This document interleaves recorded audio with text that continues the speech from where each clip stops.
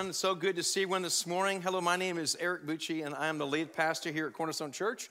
And for everyone that's home, braving the uh, elements, we want to welcome everybody. Can you guys do me a big, big favor and let everyone know it's warm in here and it feels good? Come on, nice and loud. We, uh, we're beginning a new series today called It's Complicated. And uh, how many of you know people that are complicated? Don't look around too much. Yeah, I think all of us know people that are complicated. And so we're going to be starting a new series today, a four week series about relationships. And, and I would say that uh, some of the most rewarding things that we have in our lives is relationships. And some of the most painful things we have in our lives is relationships. And so, how to relate to each other is so important. The Bible has a lot to say about relationships. In fact, the Bible is all about relationships between God and us.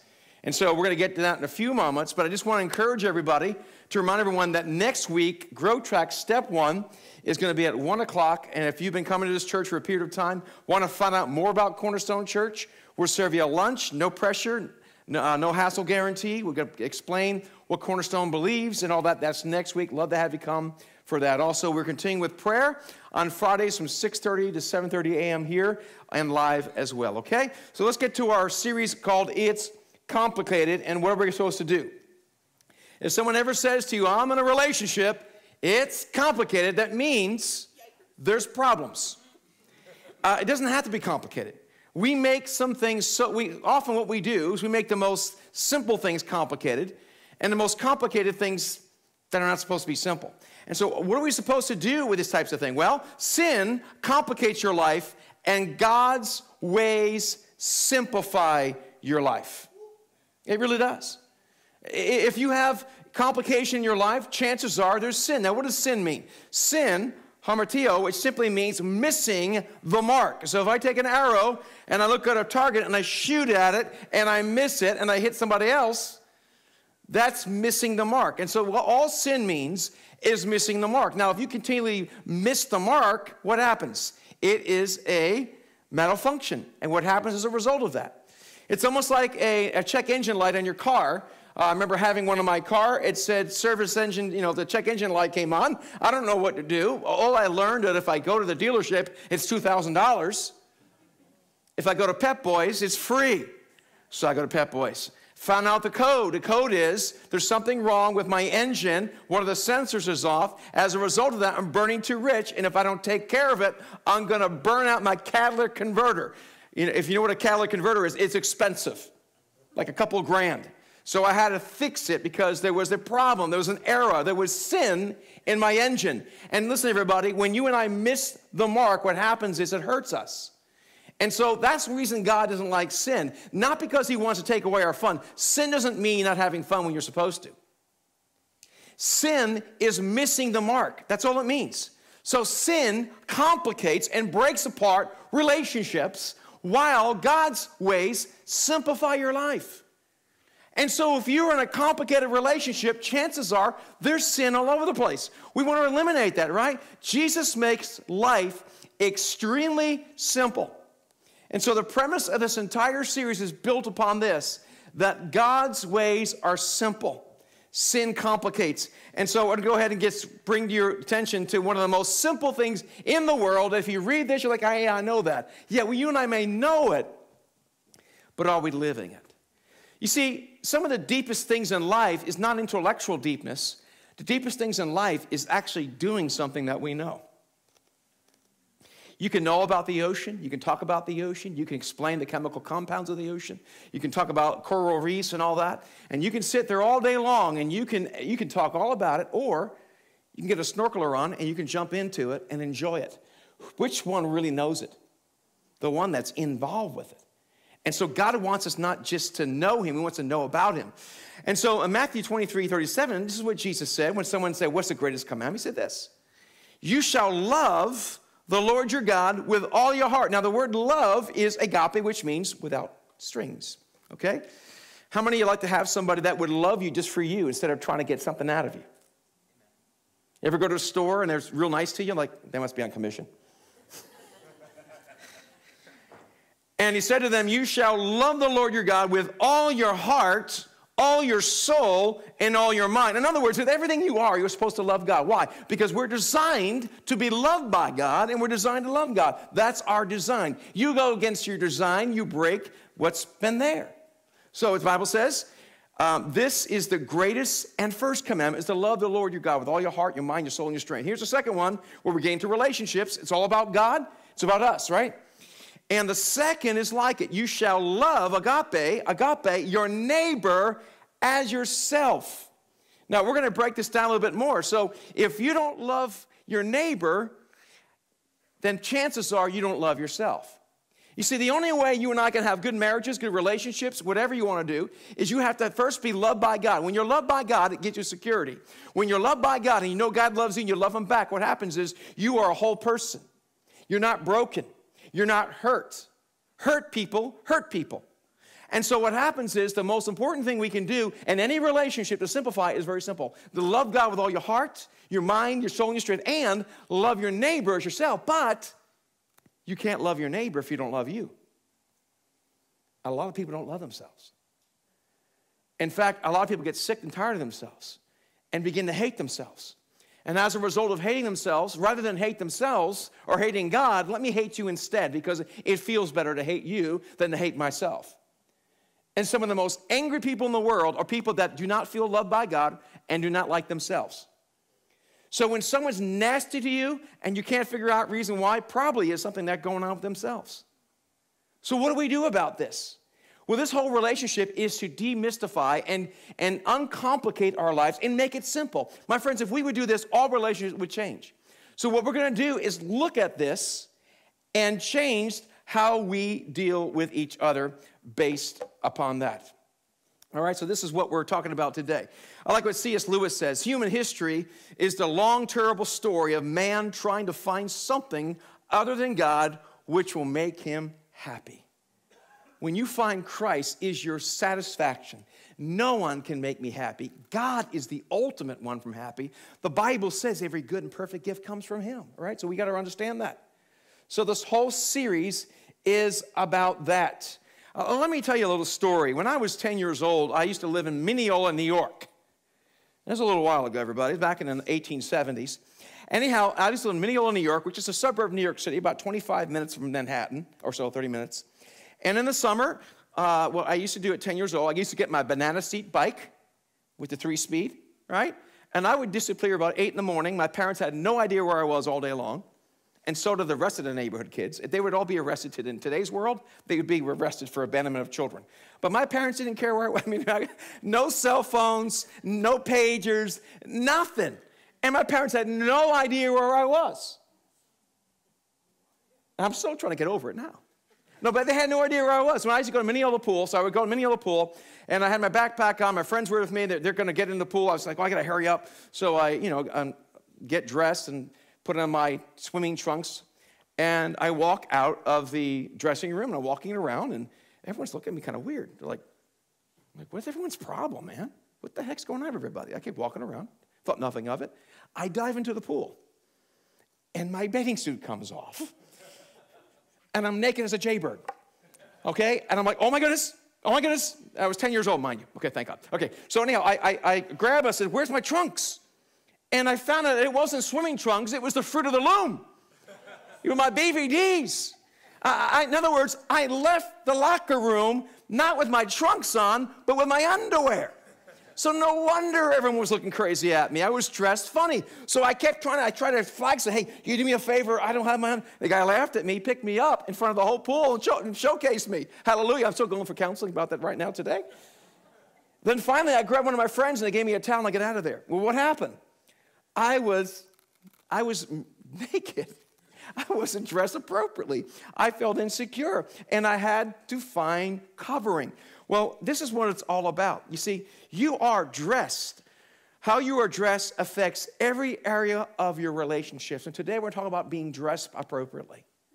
This is not a legalism thing about what you can wear, what you cannot wear. This goes a lot deeper than that. How you dress affects your life. The question is, how are you and I clothing ourselves? That affects everything. In fact, your relationships are based upon how you dress.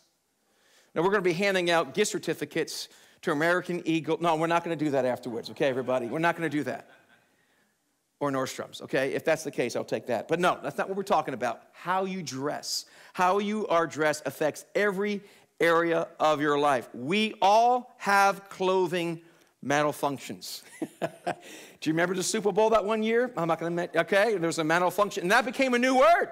Now it's like, oh, I had a, I had a, uh, I had a clothing malfunction. So uh, that, that's what's going on here. Well, I had a big malfunction in that pool that one day. Well, what do we do when we're not clothed correctly? How do we clothe ourselves correctly?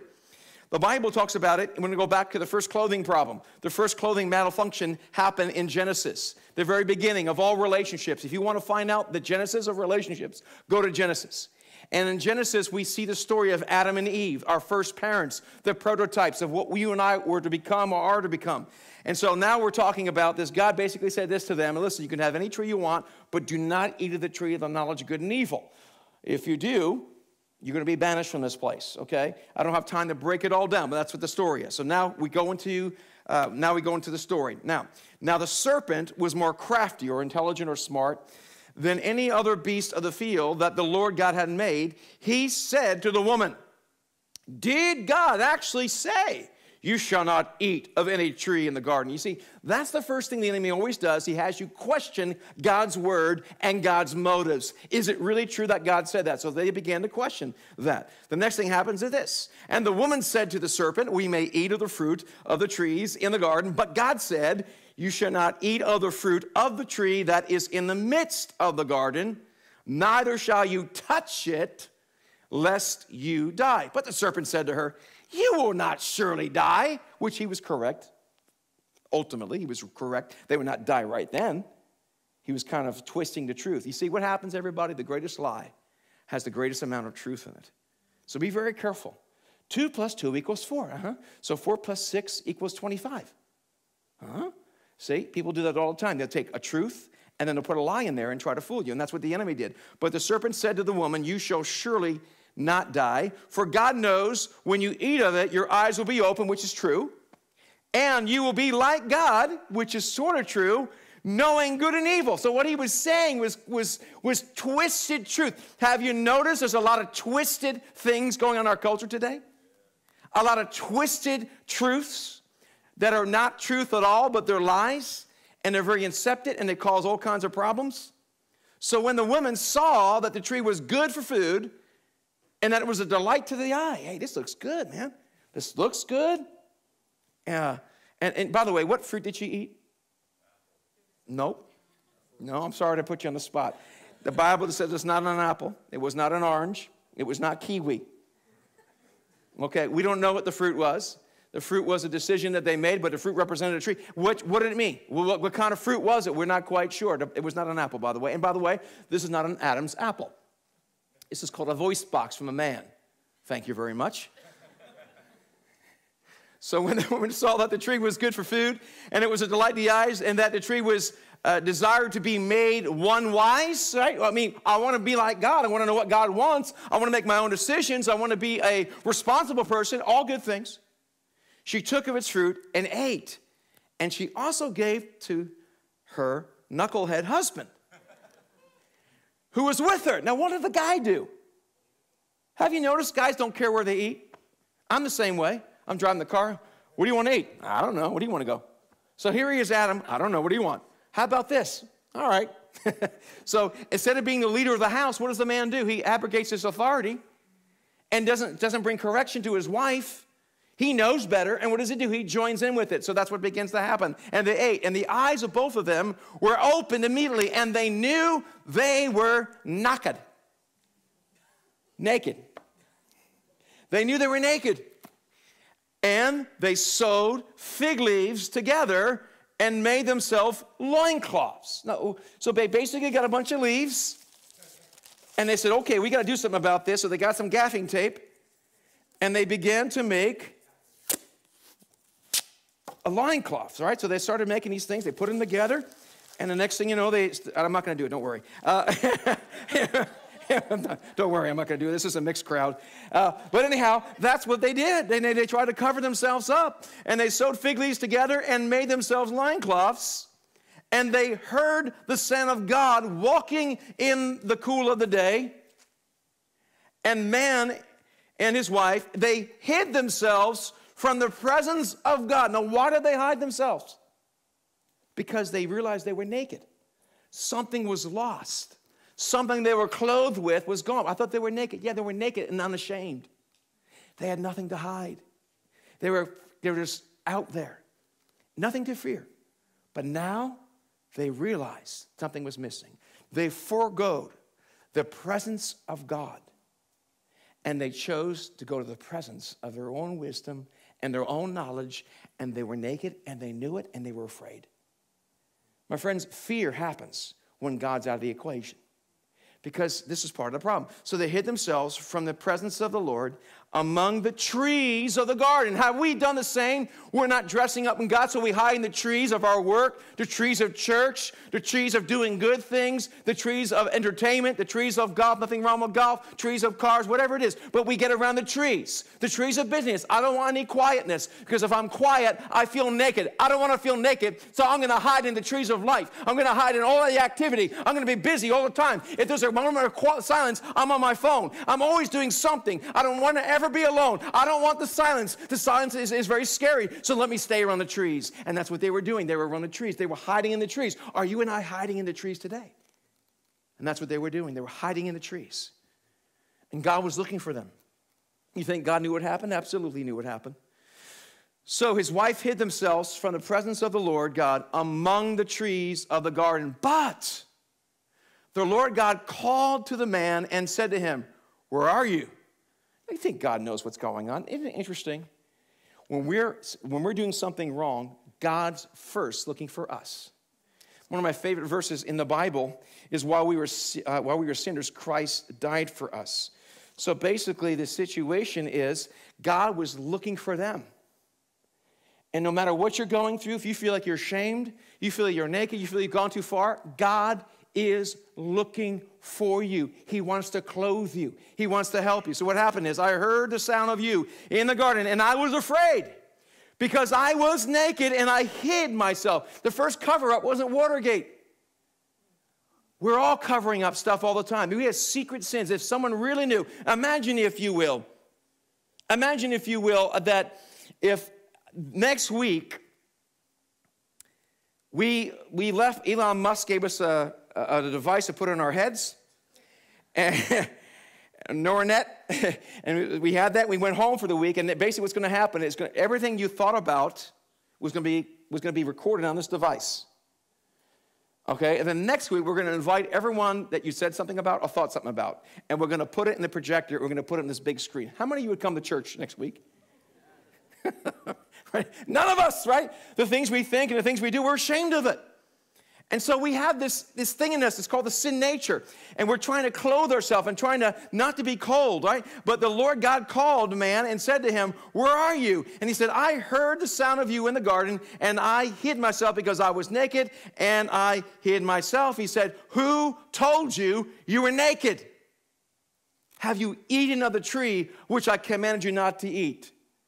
So when you and I choose to do it our own way, what we're doing is, we're saying, I don't want God's covering anymore. And they lost God's presence. They were covered in His presence, they were covered with His truth. It was a clothing on him. My friends, it is a comfort to do things God's way. God's ways work. God's ways, you're designed by God for God. And when you do things God's way, it helps. When you choose to do things your way, you break the manufacturer's design. You're designed to be with God. You take God away, it's not going to work. It's going to be temporary. And that's exactly what happened. Have you eaten the tree in the knowledge of good and evil? And the man said, The woman you gave, he's blaming God now. You know, what happens is when you sin, you hide and then you blame other people. You know, I, am convinced what's going on right now in our culture. Have you noticed how everyone's blaming everyone for everything else? I got to find someone to blame. You know why, everybody? I'll tell you the reason why. I think a lot of us feel naked today in our culture we feel powerless based upon what's happened the last 22, 23 months. It doesn't feel good to be fearful, right? Who wants to be fearful? No one wants to be fearful. But it feels better to be angry than fearful. Because when you have anger, you have a sense of power or control. When you're fearful, you have nothing. So, what are we doing? We're fearful. We're letting the enemy whisper in our ear. Those people, there, they're, they're, and we try to find somebody else, the source of all of our problem, and we make a caricature of these different people that we don't like, different than us. This is why we're fighting over stupidity, is because we're fearful as a culture. Instead of trying to clothe yourself on politics or ideologies, why don't we clothe ourselves with God Almighty? But we don't do that. We do the temporary instead. So the woman who you gave me, she gave me the fruit. See, he, he abrogated his authority, he abrogated responsibility. He should have said, you know, it was my fault. I was there the whole time. But he, what did he do? He blamed somebody else. Why? I don't want to feel naked with, with being the one because of it. Then the Lord God said to the woman, What is it that you have done? The woman said, The serpent deceived me. So the man blamed the woman, the woman blamed the serpent, and the serpent had no leg to stand on. So this is what happens all the time. So they felt naked. Let me tell you, when you do something out of God's will, you feel naked. Something's missing. You know what I'm talking about, everybody? I've been exposed. What would happen if someone had your internet browser history? Would you be embarrassed? That's an example of what can begin to happen. So, and the Lord God, check this out, made for Adam and Eve, for his wife, made Adam for his wife garments of skins and clothed them. So, what did God do? God clothed them with what? An animal, a sacrifice. There had to be a shedding of blood for sin. And so, God gave them clothing to cover their nakedness. And by the way, this, this covering, the blood covering, happened throughout Israel's history where they would they sacrifice animals unto the Lord for the forgiveness of sins, right? Remember that? They've done that all their lives. And so they cover themselves in the blood of the Lamb. And then one time when Jesus came later on, his cousin, John the Baptist, says, Behold, the Lamb of God who takes away the sin of the world. So there had to be a blood sacrifice, and they put the skins on to cover their nakedness. So Adam and Eve realized they were naked. What do they do? They were no longer clothed with God, so they had to find substitutes to cover themselves. I wonder, what substitute are we using? Are we using church? Are we using religion? Are we using uh, entertainment? Are we trying to fill ourselves? I'm trying to cover myself with these leaves. I'm going to try to be the best person I can become. And maybe you and I will, wow, that person has their act together. That person's a great person. They have a great job. And we can get these leaves and cover ourselves. There's nothing wrong with golf. There's nothing wrong with going to school. There's nothing wrong with having money. There's nothing wrong with having a good retirement. There's nothing wrong with making the most of your life. There's nothing wrong with that. But is that what you're covering your life with? Is it the leaves? And this is what we begin to do. The problem with leaves are leaves decompose. Leaves are not real coverings. We're not designed for that. So, they were no longer clothed with God.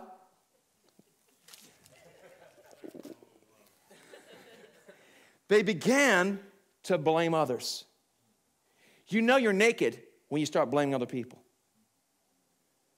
When you're naked, you start blaming everyone else for your troubles. That's what begins to happen. Now, if we are not clothed with God's presence, we will cover up with leaves. And it can happen to all of us, everybody. In fact, there's a problem with leaves. I'll show you what's going to happen. The issue that complicates all of our relationships is that we want to be God. We want to have our own clothing. We want to do our own thing. Now, one time, Jesus, on the following day, when they came from Bethany, this is about a thousand years later now, after all this, Jesus was on his way he was hungry and seeing the distance a fig tree. And what do they hide themselves with, by everybody? Adam and Eve hid themselves with fig leaves. Often Israel is, is talked about fig tree. Often it is an illustration of a nation. So there's a fig leaves. So Jesus sees a fig tree. All right, he sees it. We'll continue to read. He was hungry, and seeing it in the distance, a fig tree in leaf, he went to see if he could find anything on it. When he came to it, he found nothing but leaves, for it was not the season for figs. So what did he do? And he said to it, May no one ever eat fruit from you again. And his disciples heard it. Now imagine right now, I go outside to a Lyman Orchard or whatever, and I try to pick an apple from the tree, and there's no apple, and I take an axe and cut it down, saying, May it never come back again. Now, he didn't take an axe, but he said his word. May there never be fruit from you again. It was not the season for figs. Why was Jesus cursing the fig tree? because it represented the leaves from the Garden of Eden. It represented the leaves of the Pharisees who were more interested in covering themselves with religion, with their own ideals, with their own opinions, with their own likes. I want to fill myself with leaves. I don't want God's way. I'm going to fill it with God's I'm going to do it my way. I'm God. I have leaves. The leaves of religion, the leaves of status, the leaves of being in the know, right? The leaves of whatever it could be. And they try to cover themselves with these leaves. And Jesus saw it. He went there, they rejected him, and he cursed the fig tree because it represented Israel, and they had the leaves, but they had no fruit and they were covering themselves with religion. And they did not want the covering of Jesus, so they killed Jesus because they didn't want to be clothed with Jesus. They rather be clothed with being their own gods in the name of God. We do the same thing. I've seen churches split, fracture over my leaves. I think it should be done this way. I've seen marriages do that and flip and go away because I want to be covered with my leaves, my understanding. This is my way. And God says, Leave the leaves. Leave the leaves. And Peter remembered and said to him, Rabbi, look, the fig tree that you cursed has withered. We need to leave the leaves and cleave to God. We need to leave the leaves and cleave to God. Look at your neighbor and say, You need to leave the leaves and cleave to God. Let me explain. The Bible says this Jesus was asked, What about marriage? He said, This is what happens a man shall leave his mother and father. Can I hear an amen? They shall leave his mother and father and what? Cleave to his wife. And the two will become one flesh. You and I must be willing to leave our own understanding, our own design, our own desire. We must leave the elementary things of this earth and we must cleave and become one with Jesus Christ. Jesus talks about us being the bride of Christ. He's the groom. One day we'll be married, it will be consummated when he comes back. But right now we need to leave the leaves of these earthly things and clothe ourselves back with Jesus Christ. When Jesus died on the cross, what happened was he was the final skin covering that was necessary to cover us. And so we cover ourselves with Jesus. We're covered in his presence. We don't have to feel naked anymore. We don't have to try to blame other people for not having what we want. We need to leave the leaves. Where's your leaves? Is your leaves church? There's been times where I let the leaves be church. What happens at Cornerstone? Sometimes my leaves have been my family and where I've been compared to other people. I guess I'm doing pretty good. That's my leaves. I feel insecure. And if someone's doing better than I am on Instagram or Facebook, oh, I can't believe they're doing that. right? Oh, she's probably wearing, she has Botox. That's why she didn't have crow's feet. Those lips are not real. I mean, we sit there and we sit there and we look at all these things, and you know, you're sitting there at Taco Bell and someone's at a beautiful restaurant, and you're like, ah. So, you know, we, we, we get jealous. Why? Because we want to be covered something differently. It's not about that, everybody. You can never be satisfied with leaves because leaves will never cover you like they're supposed to. These are not made to cover you, these are made to give fruit, these are made to give you shade in the day. They're not made to wear. And that's the problem with all these issues in our lives. In Matthew 27 35, it says the following It says, And when they had crucified him, they divided his garments among them by casting lots. You realize when Jesus went to the cross, he was naked? They tore his clothes off, and he was naked on a cross. He's called the second Adam. Just like Adam was naked, Jesus was naked. The Bible says in the book of Genesis, by Adam, by the sweat of your brow, you will have thorns and thistles. What did Jesus wear on his head? Thorns and thistles, a crown of thorns. So he became a curse for us that we could receive the blessings of God. Do you see that, everybody?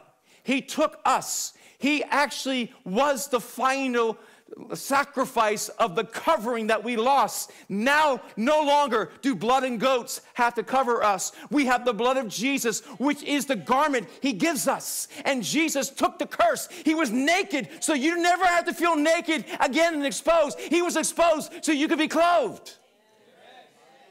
He was forsaken, so you never have to feel forsaken. He was despised, so you never have to be despised. Jesus experienced separation anxiety. And God said, He said, My God, my God, why have you forsaken me? And Jesus was forsaken, so you and I never have to be forsaken. Never do we have to cover ourselves with leaves that will leave but a clothing from him. And so Jesus, think how he went back to the Garden of Eden and he basically redid and undid the curse.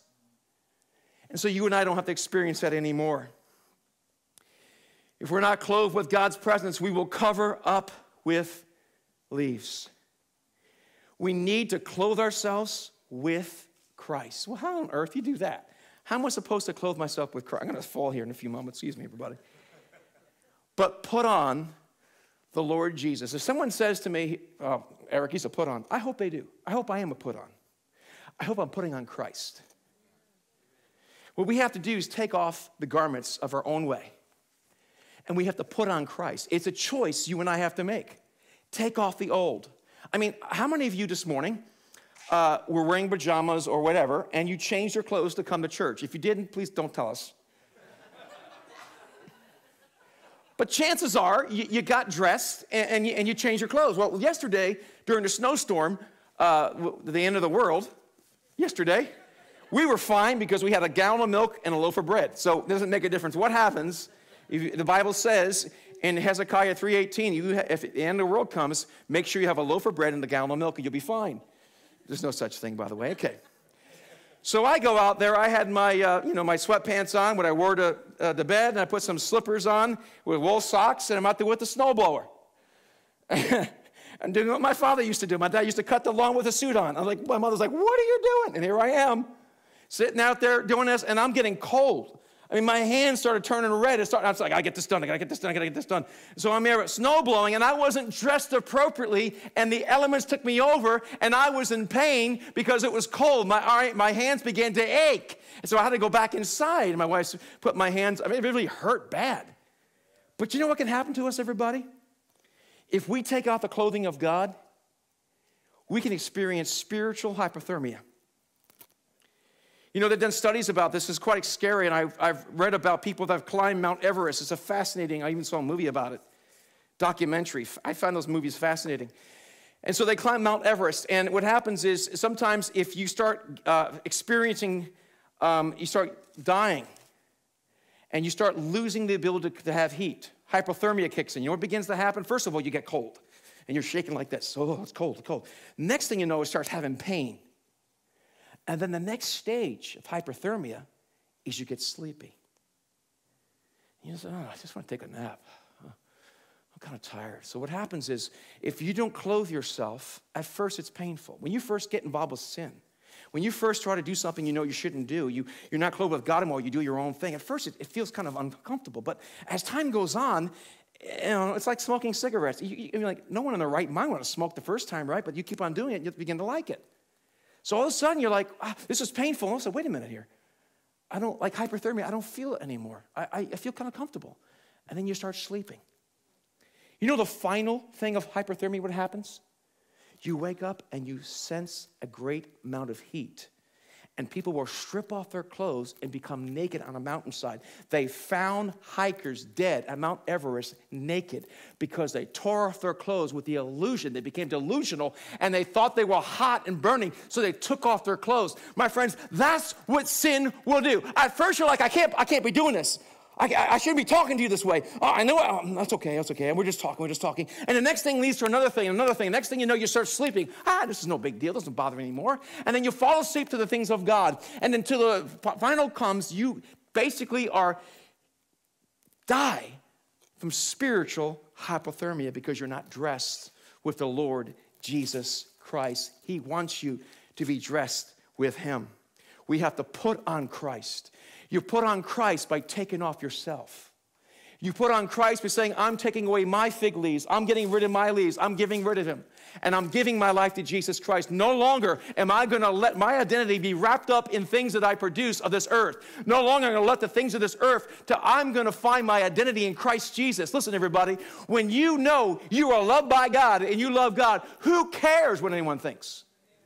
And then in a wonderful place to be? That's putting on the God. So, for in Christ Jesus you are all sons of God through faith.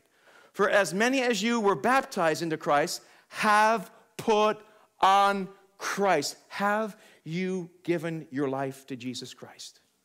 Have you put on Christ? I'm asking you a question today. I'm asking you a question. If you're at home in a kitchen or you're in the back porch or wherever you're located right now, or have you put on Christ? Yeah, God sees you, even where on your little phone. Have you put on Christ? That's the question, everybody. Have you put on Christ? Today's the day of salvation, everybody. Today's the day to get right with Christ. I'm going to ask you to bow your heads and close your eyes for a moment. We're not done yet, so please don't, no one leave yet. We have a little bit more to go. But let me ask you a question. If you were to die today, we've asked this question every week, and God were to say to you, Why should I let you in? What would you say? If you say, Well, I'm a pretty good person compared to other people, that doesn't cut it. There's only one way God will accept you. Are you clothed with Jesus Christ? Otherwise, there's no passing through. It's like putting an asbestos suit on where someone could walk through the fire because they're covered. Are you covered in Christ Jesus? And what it needs to happen is several things. Number one, you must believe He is the Son of God. Number two, He died and rose again from the dead. And that's not good enough. There's one more step. You have to be willing not to be God and say, I am no longer God. God is God, and I choose to submit myself to Him. If that's you today, if you've walked away and, and maybe you still serve God, but you've walked away and you know you're not right with God, I want to pray for you today. Maybe, maybe you've never given your life to Christ. So I just know better how to pray. Let's be real today. Anyone say, That's me today? I want to give my life to Christ the first time. Or I want to renew my commitment. Anyone this morning? Anyone online? Okay, let's pray this prayer. Pray it with your heart and your mind. It's the prayer of faith. Lord Jesus, that's right, Lord Jesus, thank you for dying on the cross for me. I believe you're the Son of God. I believe you rose again from the dead. I ask you to forgive me of all of my sins, both known and unknown. I choose to turn away from what I know is wrong and today, I step down from being in charge of my life. Lord, take my life. It is yours in Jesus' name. Amen. If you prayed that prayer, we believe you became born again in the front pocket. We're not done. We have one more thing to talk about today, but I want to do this first. There's a card. You want to pull it out, and you can put in there, I made a decision today. Can you just go take a moment to do that? Or if you're online, you can text or do it here. You can take your phone, and you can text uh, the 860 499 4888. That's 860 499 4888. And text believe, and we'll give you the next steps. Okay? We're not done. There's something else I want to bring to your attention. Likewise, you who are younger, be subject to the elders. Clothe yourself, all of you, with humility. See, God wants us to clothe ourselves not with braggadocious things, but to clothe ourselves with humility. Who's the most What's the definition of humility? Jesus. What's the definition of love? Jesus. What's the definition of truth? Jesus. All the utmost of all the virtues is Jesus. So when we clothe ourselves with humility, we're putting Christ on. Clothe yourselves, all of you, with humility towards one another, for God opposes the proud, but give grace to the humble. You know, in the book of Zechariah, this was speaking to the church of that day. What happened was this He showed me Joshua, the high priest, standing before the angel of the Lord, and Satan standing right next to him, accusing him. And the Lord said to Satan, The Lord rebuke you, O Satan. The Lord who has chosen Jerusalem rebuke you. Is it not the brand plucked out of the fire? Now, Joshua, which represents those that believe in Christ, Joshua was standing before the angel clothed with filthy garments. Are you with, with filthy garments? Have you done things? Are you involved with things that you, frankly you should not be involved with? Are you filthy in your, in your conduct? Are you filthy with unforgiveness? Are you filthy, filthy with jealousy? Are you filthy with hatred? With filthy garments. And the angel said to those who were standing before him, Remove the filthy garments from him. And to him he said, Behold, I have taken your iniquity away from you and I will clothe you with pure vestments. So he took the filthy garments on, off, and put on God. God wants us to take off the filthy garments that we've allowed and we put up with. Some of us are put up with stuff too long. Some of you are in a relationship right now, maybe you're married and you you hate your spouse. We're going to get into that later on. Maybe you, you, you're denying each other, you're not part of each other, you don't forgive each other, but you're just together for the kids only or you're just together because you know God hates divorce. But as far as you're concerned, you're divorced from your wife or your husband. How about we take off the pride, take off the filthy garments, and put on garments of praise, put on garments of the Lord Jesus Christ. Take off the filthy garments and put on the right thing. And I said to him, Let us put a clean turban on his head. Maybe your mind is filthy. Maybe you're looking at the wrong things and involved with the wrong things. God says, Get rid of those filthy things and put on the clean turban. God wants us to dress appropriately. See, you and I have a dressing problem. What are you and I dressed as? Every day, you and I have to make a decision what we're going to put on. So they put a clean turban on his head and clothe him with garments. And the angel of the Lord was standing by. And the angel said, I rebuke you, Satan. He's been pulled from the fire. When God forgives you, you are clean. It doesn't make a difference what your past was. If you were involved with all sorts of things in the past, it doesn't make a difference what you're a part of.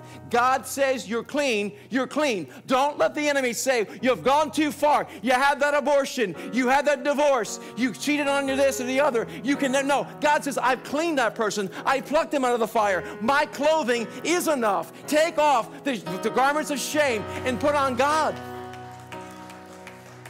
Don't let the enemy come and try to collect from you something that Jesus has paid for. He's paid for you if you give your life to Him. Don't be put in shame. Yeah, but I knew better. Yeah, we all knew better. None of us are worthy. But Jesus forgives us. We don't have to walk around with this. The, in Jesus' name, I rebuke the enemy right now that would speak in people's minds that they've fallen too far. In Jesus' name, you're, you are enough, Christ. Jesus, what you did on the cross is enough. We break the power of the enemy right now over people's minds. Those that are watching at home as well, in Jesus' name, I command you, the enemy, to leave these people alone. We break strongholds of the mind. We cast down arguments that exalt itself above the knowledge of Jesus Christ, and that your blood is enough in Jesus' name. And I will no longer wear these filthy garments in Jesus' name. Amen. Are you willing to turn away from what you know is wrong? So, I don't have time to get into the rest of this, but the Bible talks about in the book of Revelation, there was a church that was lukewarm. Yeah, I go to church. Yeah, I go. I go at least once a month. You know, I watch a couple of times while I'm on Amazon buying things. Uh, yeah, I, am a part of it. You just check the box. For you say, I'm rich, I, I have prospered, I, I need nothing. Not realizing that you're wretched, pitiful, poor, blind, and naked. Isn't that how you feel good about that, everybody? So notice you're naked again? I counsel you to buy from me gold refined by the fire so that you may be rich and what? White garments, so that you may what? Clothe yourself. That's right, everybody. You and I have a responsibility to every day take off the grave clothes. Every day get rid of the bad clothes and say, Today I'm putting on Jesus Christ. I, I, I, going to give you a little something to take home with you, okay? How about this week? This is real simple. When you get up in the morning and you change your clothes, can you just think about what we talked about today? And say, Father, I'm putting off these grave clothes of the evening and I'm putting on, I'm a son, I'm a daughter of God. My sins are forgiven. You are all that I need. I'm confident in you. I am loved by you. And say, Jesus, I give you this day. I choose to clothe myself in you. This is what we need to do, everybody. But put on the Lord Jesus Christ. My friends, I want to be known as the church of the put on. We go to the put on church. we put on Jesus Christ.